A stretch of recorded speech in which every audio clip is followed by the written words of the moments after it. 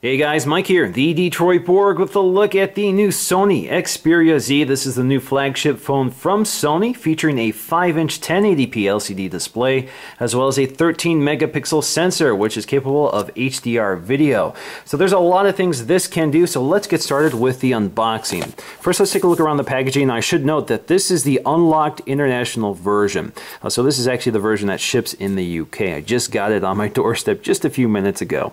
Now on the back we have some references to the major features, including our 13 megapixel sensor. We have a 1.5 gigahertz quad core processor, that's a Snapdragon processor, HDR video. We have a 5 inch screen as well as a front-facing camera. I believe that's what that's referring to. So lifting the lid, which is not taped by the way, we can see our Sony Xperia Z in the top tray. So here we go. Now packaging may vary uh, depending on what carrier you pick this up from. So let's just uh, unwrap this and slide it out. Alright, so as you can see, it's still wrapped in its plastic. Now this is a fully glass design, so we have a glass back panel and a glass front panel. Now Sony says that the back panel and front panel are the same glass, which means they're pretty shatter resistant. So let's go ahead and peel this off.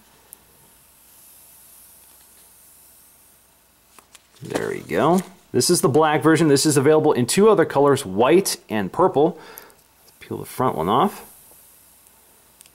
There we go. Very glossy, very large foam, but very thin, as you can see.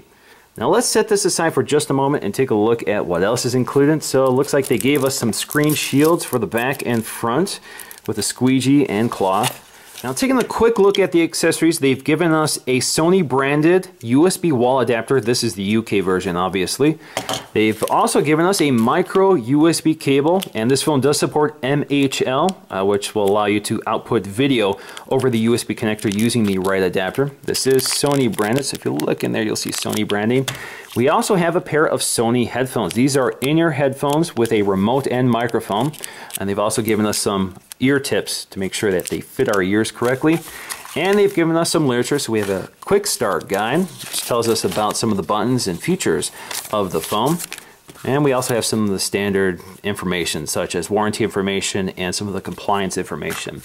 All right, so let's get back to the Xperia Z. And on the back, you can see we have that very glossy edge-to-edge -edge glass panel with the Xperia branding toward the center. You also have an NFC label there, just letting us know that the NFC sensor is right behind that portion of the back panel. You also have your 13 megapixel autofocusing camera with HDR video. Right below that is the LED flash, and you have your microphone. Now along the top you'll find a covered port. As you can see along the side every panel here is sort of a blue, kind of a dark blue translucent panel. looks very nice. You can see as it picks up the light it reflects that blue color. But uh, behind this flap here is your headphone jack. So you can see that right there. There's your headphone jack. You can cover that up. Actually if you look inside you can see this kind of rubber, rubberized so it does, perform, it does create a nice seal around the jack. Along the left side, you'll find these two connection points for accessories like a dock or charger. Up here, we'll find a door hiding the micro SD card slot. Now, this holds up to 32 gig cards, so not 64 gigs in this case. So they do include 16 gigs of storage in the phone, but you can expand it up to 32 gigs with the SD card slot. You also have another door here hiding the micro USB connection. So there you go and uh, that's one way to charge. As you can see, we also have that rubber seal around the doors to keep it nice and airtight. Now there's not much along the bottom, but uh, at the corner you actually find a hook for a lanyard. You also find your speaker grill.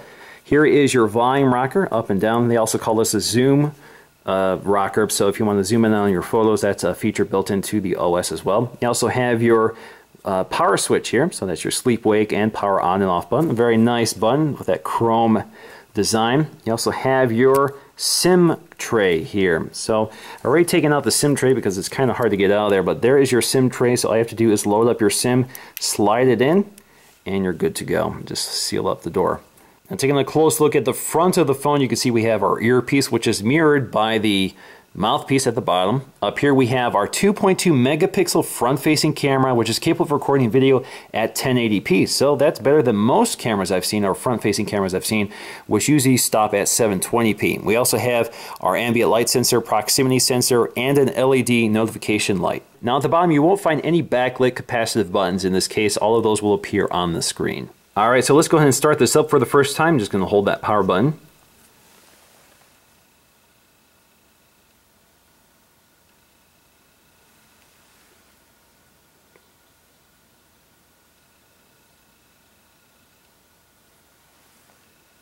So while it's starting up, let me just talk about this display. So this is a 1080p display over 5 inches, which gives us a pixel density of 441. All right, so let's go ahead and take a quick look at what we got here. We're going to set this up for the first time. So you just swipe up. You can either swipe up or swipe down to unlock the phone.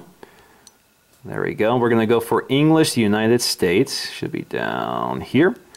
Click Done. All right, so it just wants us to read the warranty. We're going to agree to that.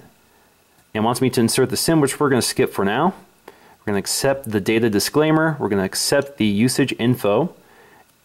And that's all there is to it, so we're already set to go. So you can see we have several home screens here. Now I'm going to do a full review and overview of this operating system and all of its unique Sony features. So I just want to show you exactly what this looks before uh, that video shows up at the end of this week. Uh, I've already played with this phone. I'm pretty impressed with it so far. It does have a heavily modified version of Android 4.1. No word yet on when 4.2 is coming, but I'm sure it'll be updated eventually. Uh, for example, you have your app drawer here. You can also go up to uh, customize to get to your widgets and here you can add home screens and manage your home screens. You can also adjust your themes so you can pick the theme you want which will change the wallpaper and some of the coloring.